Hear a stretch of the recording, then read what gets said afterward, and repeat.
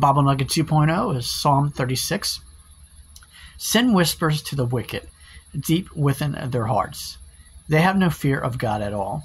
In their blind consent, they cannot see how wicked they really are. Everything they set they say is crooked and deceitful. They refuse to act wisely or do good. They lie awake at night, hatching sinful plots. Their actions are never good. They make no attempt to turn from evil. Your unfailing love, O Lord, is as vast as the heavens. Your faithfulness reaches beyond the clouds. Your righteousness is like the mighty mountains. Your justice like the ocean depths. You care for people and animals alike, O Lord.